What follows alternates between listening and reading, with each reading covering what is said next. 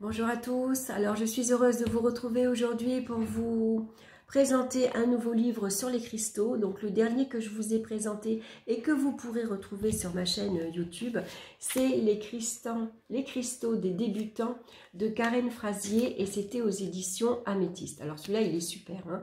en plus à la fin du livre, euh, il y a quelques exemples de mandala que vous pouvez faire avec plusieurs pierres. Euh, pour, par exemple, le mandala pour se libérer des regrets, par exemple. Hein, alors là, c'est vrai qu'il faut quand même beaucoup de pierres. Bon, ce qui est intéressant dans ce livre-là, c'est qu'il est tout en couleur. Hein. Euh, voyez, à la pierre, à la fin, par exemple, on vous montre ici les pierres bleues. Donc, vous les avez toutes avec les noms. Donc, quand on les cherche, quand on connaît pas une pierre, c'est intéressant d'avoir son image et son nom à côté, bien sûr. Hein. Et on a ça, bien sûr, euh, pour toutes les autres pierres. Hein. Euh, il est sympa, ce petit bouquin. Hein. Voilà, on a ça pour les pierres jaunes, les pierres rouges, les pierres noires. Voilà, donc celui-ci, il est chouette. Aujourd'hui, je vais vous présenter le B.A.B.A. de la lithothérapie, Ange Jacques Sénon, aux éditions Pardès. Voilà, donc je vous montre la couverture. Donc moi je l'avais trouvé sur Amazon au prix de 12 euros, hein, donc il est vraiment pas excessif. Je vais vous lire juste un tout petit paragraphe hein, euh, qui est intéressant. L'énergie des cristaux agit sur trois plans, le physique, le mental et le spirituel. En fonction de nos besoins, de nos faiblesses et de nos désirs, chacun d'entre eux peut répondre à nos attentes. Donc découvrez grâce à ce béaba de la lithothérapie une méthode entièrement naturelle du plus grand intérêt pour la santé du corps et du mental. Donc euh, on va avoir en entrée ici un sommaire. Alors euh, il fait deux pages hein, parce qu'on va avoir une dizaine de chapitres. Et vous voyez à chaque fois les chapitres, il y a beaucoup de sous-chapitres on va dire. Hein. Euh, il va nous parler de beaucoup, beaucoup, beaucoup de choses. Donc, une introduction, bien sûr. Hein. Ensuite, on va avoir la première partie, la connaissance des pierres, donc la forme des cristaux. Hein. donc, il y a des formes rondes, cubiques, euh, euh, hexagonales. voilà, il vous parle donc de toutes, de toutes les formes. Ensuite, on va avoir donc les propriétés physiques et notamment les couleurs les différentes couleurs. Si elles sont claires, sombres, euh, voilà, foncées, les propriétés chimiques et les propriétés électriques. Ensuite, en deuxième partie, on va avoir l'influence des couleurs sur les cristaux. Donc ça, c'est intéressant. Hein. C'est vrai que euh, les couleurs ont énormément d'impact. Hein. Donc, les trois niveaux d'action des couleurs. Donc, il y a l'action physique, l'action mentale et l'action spirituelle. Donc ensuite, il va nous parler des différentes couleurs. Donc bien sûr, on retrouve le rouge hein, qui est associé à l'élément feu, l'orange qui est associé à l'élément feu également, le jaune à l'élément air, le vert est associé à l'élément de l'eau, le bleu est associé à l'élément du ciel, l'indigo euh, est associé euh, à l'élément du ciel également. Et le violet également. Donc vous voyez, voilà, à chaque fois on vous parle donc euh, des couleurs. Hein. Donc par exemple, le violet, en lithothérapie, le rayon violet est utilisé pour renforcer le système immunitaire, aider les personnes dépendantes de l'alcool, des drogues et de certains médicaments, apaise le système nerveux, calme les personnes anxieuses, favorise toute pratique de méditation, exerce une protection contre toutes les manipulations d'énergie magie noire par exemple, aider les individus à triompher du matériel au profit du spirituel. Les pierres utilisées sont la fluorite, l'améthyste, la tourmaline. Le violet convient à tous ceux qui travaillent sur eux-mêmes dans un but d'évolution, de réalisation et de transformation pour les personnes souffrant de graves pathologies, pour les personnes nerveuses, à toute personne pratiquant la méditation et la sophrologie, aux personnes souffrant d'angoisse inexplicable. Le violet ne convient pas aux personnes introverties, tristes, déprimées, au tempérament lymphatique, aux personnes actives. Et donc, on va avoir tout ce genre d'informations pour toutes les couleurs. Donc, vous voyez, euh, c'est intéressant. Hein euh, de lire tout ça, d'apprendre tout ça. On va savoir euh, Donc, quelle est en fonction également des couleurs qui nous correspondent le mieux hein. Aussi bien, moi, je trouve des couleurs à porter sur soi, hein, que ce soit en foulard, en t-shirt, voilà. Donc, les trois catégories de couleurs et leur effet. Hein. Donc, on a ici un petit tableau. Alors là, on va avoir les couleurs chaudes, froides et neutres. Au milieu, on a donc les couleurs. Et ici, on va avoir donc les effets. Donc, pour les couleurs chaudes, euh, c'est les couleurs jaune, orange, rouge. C'est des, euh, des effets de stimulation. Pour les couleurs froides, bleu, indigo, violet, blanc, c'est pour apaiser. Les couleurs neutres, comme le vert, le jaune, le bleu-vert, c'est pour harmoniser. Voyez? Donc ça, c'est intéressant. Les couleurs et leur polarité opposée, donc le jaune, c'est le violet. Euh, la couleur bleue, son, sa polarité opposée, et le orange. Et ensuite, on va avoir les couleurs des gemmes et les chakras. Voilà, donc ici, on a un petit tableau avec les premiers euh, chakras et les couleurs qui correspondent. Donc, par exemple, le premier chakra, c'est le rouge ou le noir. Hein. Le deuxième chakra, ça sera l'orange. Euh, le troisième chakra, c'est le jaune. Le quatrième, le vert. Le cinquième, le bleu. Le sixième chakra, le euh, indigo. Et le septième chakra, après, c'est le violet. Donc, euh, non, le sixième chakra, il est là, pardon, c'est le chakra du troisième œil. D'ailleurs, je vous avais fait une vidéo sur euh, les chakras. Je l'ai supprimé parce qu'on m'a dit que le son était merdique. Alors, moi, ça passait très bien, mais apparemment, pour d'autres, ça n'allait pas. Donc, je vous la referai. Donc, ensuite, on va avoir les minéraux, des pierres et des cristaux. Donc là, on va avoir donc... Euh, euh, la composition de certaines pierres. Hein. Donc on va retrouver du calcium, de l'aluminium, du cuivre, du fer, du magnésium, du manganèse, du silicium, du zinc. Et donc à chaque fois on va avoir le rôle. Voyez, donc par exemple pour le silicium, son rôle c'est un réminéralisant essentiel de l'organisme. Sa couleur est blanche, transparente, translucide ou opaque rôle fondamental dans la réminéralisation de l'ensemble du corps humain. C'est un minéral essentiel pour le fonctionnement harmonieux de notre système énergétique, action sur la physico-chimie du corps humain, sur les fonctions neurosensitives et le système nerveux. Gemme, c'est le cristal de roche, est exclusivement composé du dioxyde de silicium. Donc vous voyez, c'est intéressant quand même ce qu'on apprend. Hein. On ne vous parle pas simplement que euh, comme euh, toutes ces informations-là, vous ne les retrouvez pas dans ce livre-là, bien sûr. Donc après, action des pierres sur l'homme. Donc là, par la couleur qu'elles émettent, par euh, réaction enzymatique, par piézoélectricité. Ensuite, on va avoir le système énergétique, hein. donc les canaux énergétiques donc là, on va vous parler des canaux méridiens, par exemple. Hein. Ensuite, on va avoir les quatre corps auriques de l'être humain.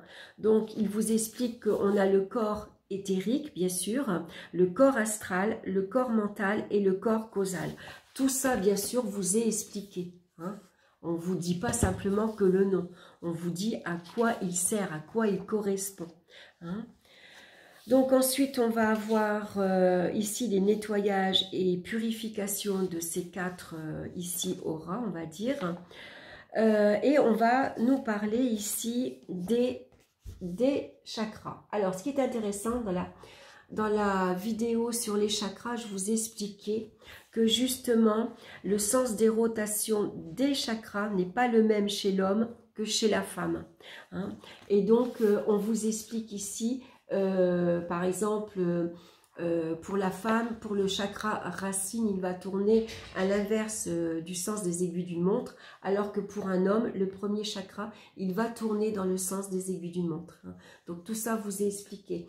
Donc moi, dans ma vidéo, je vais vous montrer, je vais vous partager une photocopie que j'avais trouvée sur internet. J'aimais bien cette photocopie parce que justement, elle vous montrait que les sept principaux chakras donc sont bien tout le long de la colonne vertébrale ici et puis ils étaient identifiés à chaque couleur.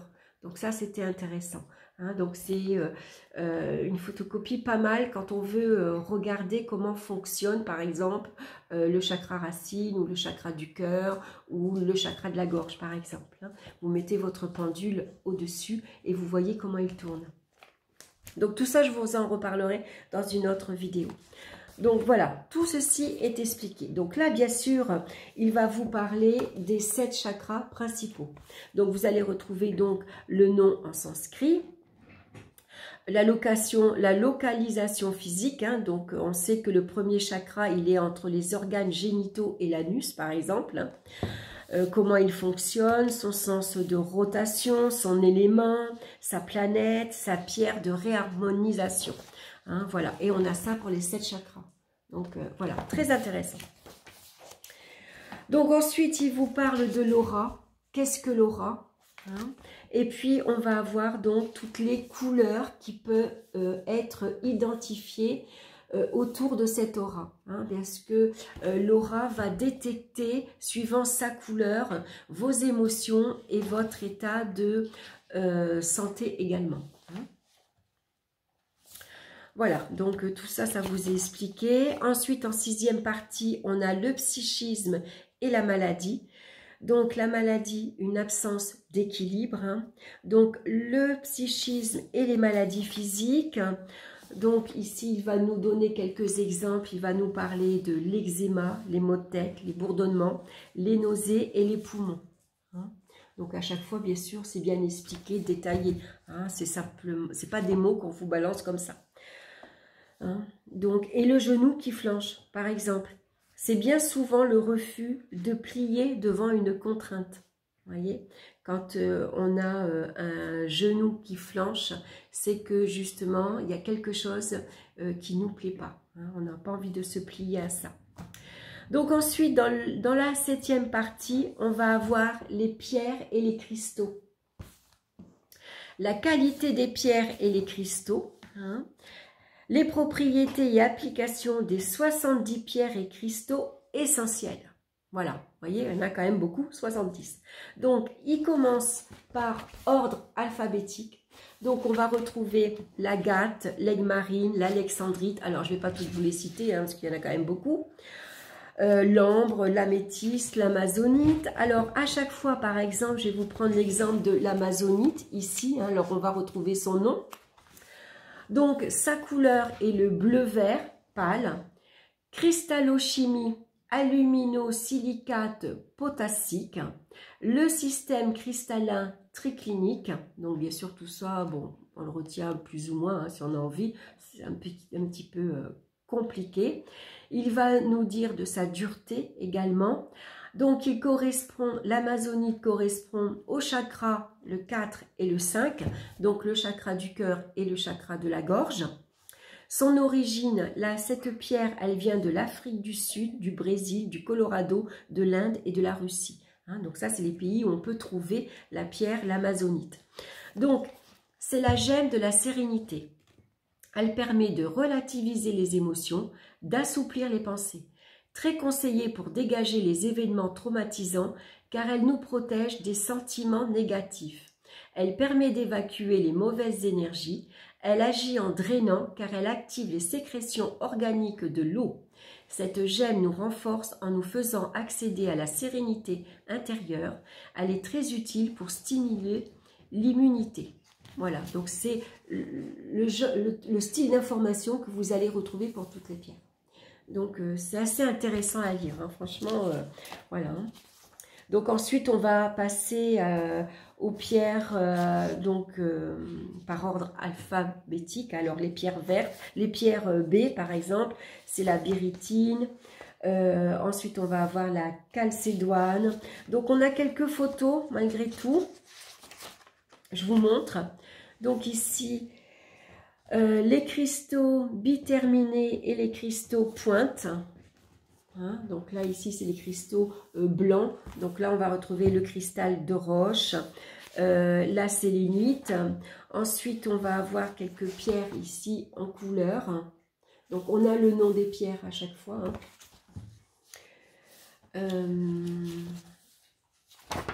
je vous montre les photos. Donc, les pierres roses, les pierres bleues. Et puis, on a les pierres rouges et orangées, avec leur nom, bien sûr. Et ensuite, on a les pierres comme l'amazonite, euh, voilà, plusieurs pierres. Donc voilà, donc vous, vous allez retrouver tout ça. Donc euh, c'est pareil, par exemple, pour la citrine. Hein. Donc moi, je me suis fait des petits post-it en plus, hein, des petits papiers que je rajoute, que je vais chercher dans les différents bouquins ou même sur Internet. Hein. Donc comme la citrine, c'est une couleur jaune pâle, orange. le système cristallin, c'est le rond béotrique, c'est la dureté. Donc tout ça, il vous explique ce que c'est quand même dans le, dans le livre aussi. Hein. Moi, je ne vous l'ai pas dit, mais bien sûr, vous allez retrouver à quoi ça correspond.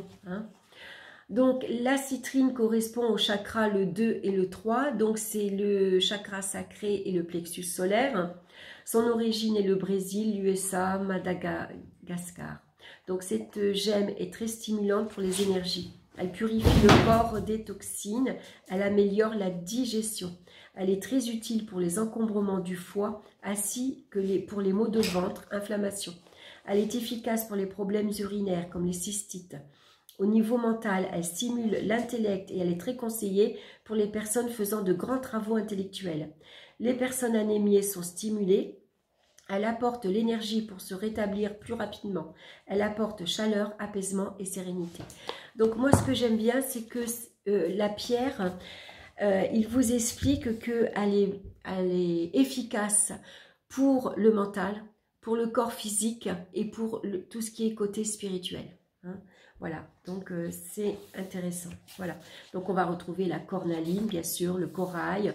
Ensuite, les cristals de roche. Donc là, on va avoir plusieurs cristaux différents hein, qui, qui font partie du cristal de roche, en fait. Donc ensuite, on va avoir euh, les pierres comme les quartz également, les pierres vertes, les pierres bleues, euh, donc euh, la fluorite, héliotrope, l'hématite, le jade, le jaspe, la labradorite, la lazulite. On va avoir la morganite, la malachite, onyx noir, œil de tigre, œil de bœuf. Je vous donne quelques noms comme ça, hein, vous voyez. Donc on a 70 pierres. Voyez, c'est pas mal, hein Franchement, euh, il est chouette. Alors, je remets mes petits bouts de papier, la tourmaline, le péridot, euh, la turquoise. Euh, voilà. Donc, ensuite, à la fin, il vous dit comment choisir les cristaux. Ensuite, comment porter les pierres et les cristaux. Donc, en collier, en bracelet, les bagues, les boucles d'oreilles. Donc, par exemple, pour les boucles d'oreilles, c'est sur le lobe de l'oreille que se trouve le point d'acupuncture qui agit directement sur le troisième œil. Ça, c'est bon à savoir, ça, je ne le savais pas, par exemple. Hein. Donc, action sur le pouvoir psychique, l'intuition, la volonté, la clairvoyance, la connaissance, la sensibilité artistique. Donc, quand vous voulez travailler tout ça, hein, par exemple, il suffit de porter euh, vos cristaux en boucle d'oreille. Par exemple, quand vous portez des cristaux en bague, hein, ce qu'on fait généralement, elles agissent directement sur les canaux d'énergie du bout des doigts, renforçant ainsi leur sensibilité et leur magnétisme. Donc, il va vous donner, donc, euh, concernant le pouce, l'index, le majeur, l'annuaire, l'auriculaire. En bracelet sur les bras, hein, ils agissent sur les méridiens des bras et diffusent leur énergie par les bras et les mains. Moi, je trouve euh, ce bouquin très intéressant. On apprend vraiment beaucoup de choses, quoi. Donc, comment purifier ces cristaux? Alors, vous pouvez les, purifier par le soleil, l'eau vive, la sonorité purificatrice et harmonisante, donc avec le bol tibétain par exemple, par le fumage, donc avec l'encens, le pommier sauvage et sel marin, la visualisation intérieure, la mise en terre et le lit d'améthyste, bien sûr. Hein. Euh, voilà. Donc, pour une séance avec les gemmes, donc avec les pierres, il faut toujours s'enraciner. Vous devez poser à vos pieds de la tourmaline noire. Allongez-vous tête au nord, les pieds nus. Il faut se détendre, puis vous poserez vos mains sur vos cuisses, les coudes contre le corps. Respirez calmement jusqu'à ce que vous ayez obtenu une respiration détendue et profonde, une respiration bien sûr abdominale. Hein. Donc voilà, on vous explique comment vous pouvez euh, vous enraciner avec les pierres. Hein. Donc euh, c'est pas mal. Voilà. Ensuite, les séances de lithothérapie et de méditation. Donc les séances de lithothérapie. Donc là, vous allez retrouver, mince, c'est mes petits papiers qui tombent. C'est pas grave. Donc, pour lutter contre le stress, pour stimuler l'immunité, pour fortifier la mémoire, pour les problèmes nerveux chroniques, harmoniser global des sept chakras. Voilà, donc ici, euh, on vous explique que euh, pour, euh, si vous voulez faire une séance de lithothérapie, il va falloir poser une pierre bien distincte bien distincte sur les sept chakras. Donc, par exemple, quand vous voulez aider une amie, par exemple, vous allez, vous allez lui demander euh, qu'elle s'allonge, hein, tout simplement, et vous allez donc positionner ces sept cristaux comme ceci, hein, euh, sur ces chakras. Donc, bien sûr, tout ça est expliqué. Hein. Moi, je vous dis euh, grosso modo comme ça. Donc, la méditation et les cristaux, donc la lithothérapie et la méditation sont indissociables. Méditer avec les cristaux est une manière d'accéder à une plénitude intérieure. Les règles pour bien méditer et purification intérieure avec le cristal de roche, par exemple. Donc là, c'est euh, la méthode. Il vous dit comment il faut faire. Hein. Voilà. Donc, pour la stimulation des énergies spirituelles avec une améthyste, par exemple. Donc là aussi, il va vous expliquer comment il faut faire. Méditation sur le lâcher-prise, par exemple. Hein, pareil, la pierre que vous avez besoin et comment vous allez procéder. Ensuite, la neuvième partie, la géobiologie, vivre avec les cristaux. Donc là, sur la géobiologie, hein, un petit texte, vous explique ce que c'est. Donc les énergies de la Terre, hein, partout où, que ce soit sur notre globe, nous sommes sous l'influence permanente des deux colossales énergies desquelles nul ne peut se soustraire. Donc on est sous euh, l'énergie tellurique et l'énergie cosmique, bien sûr. Donc tout ça, ça vous est expliqué. En plus, il vous explique le yin et le yang, hein, à quoi ça correspond. Euh, voilà.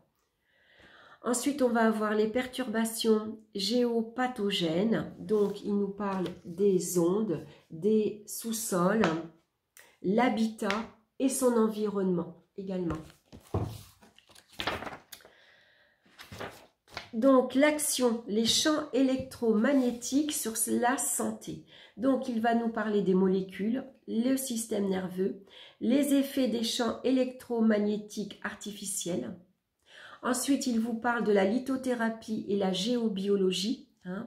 Donc, chambre, endroit de méditation, toutes les pièces, les bureaux, les espaces de communication, bureaux, commerce, salle de séjour. En fait, là, il vous dit les pierres qui y sont associées.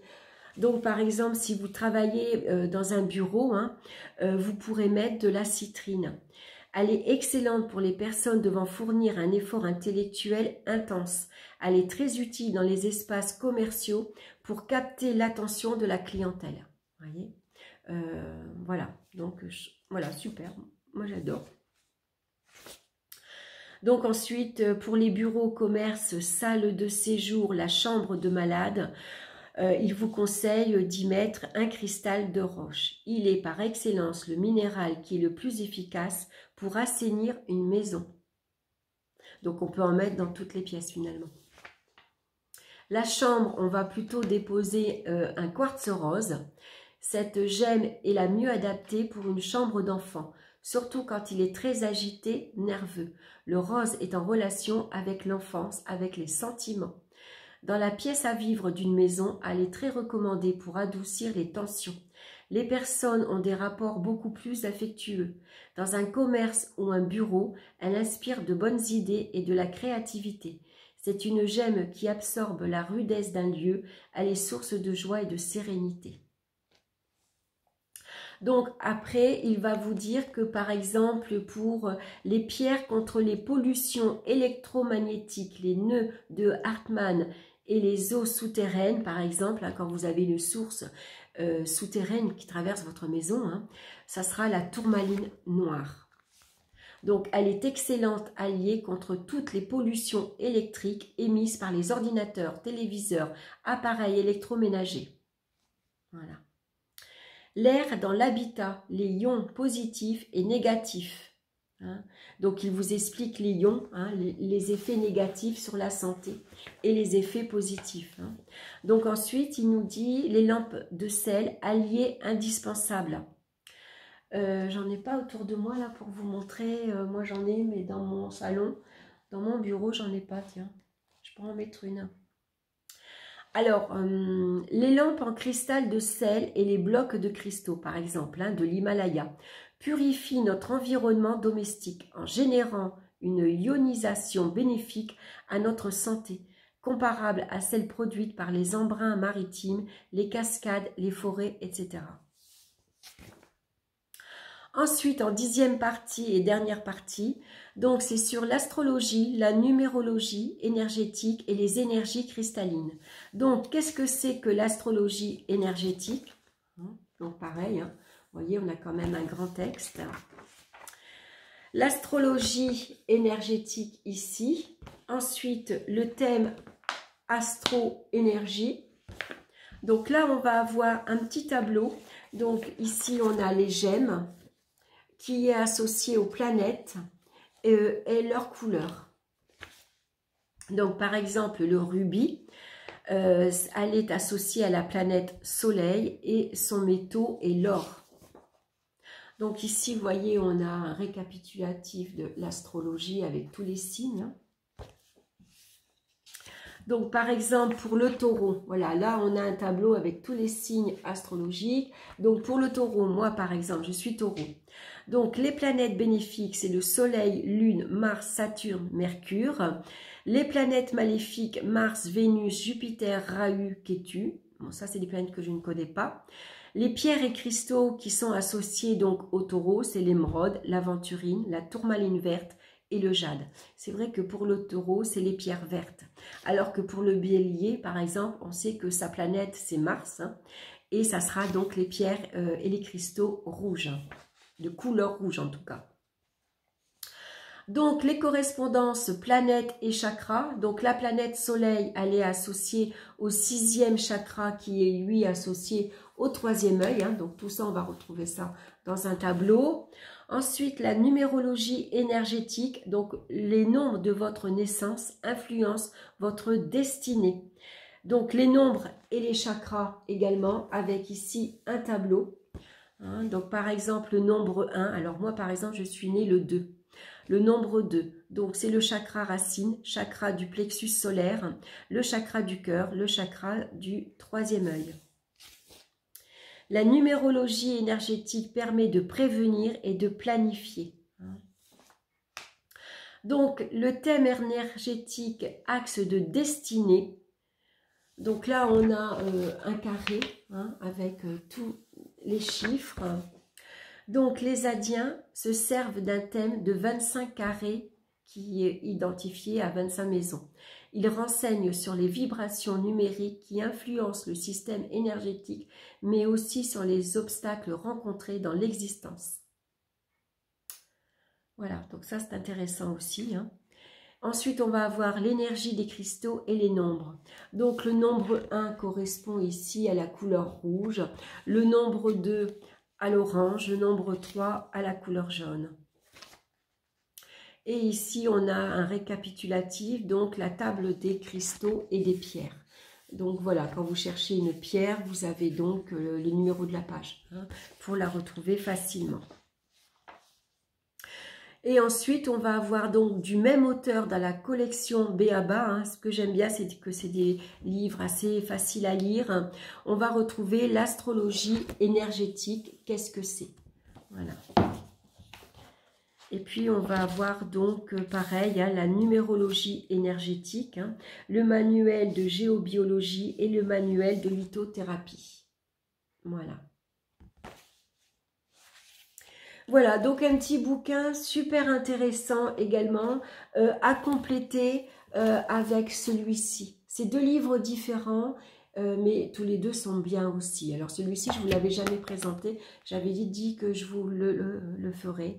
Donc voilà, moi je l'avais trouvé sur Amazon et il est au prix de 12 euros. Hein. Donc le B.A.B.A. de la lithothérapie de Ange Jacques Sénon aux éditions Pardès. Voilà, j'espère que cette petite présentation vous aura plu. En tout cas, merci de votre écoute. Je vous embrasse très fort. Je vous souhaite une excellente soirée et on se retrouve très bientôt pour une nouvelle vidéo. Bye bye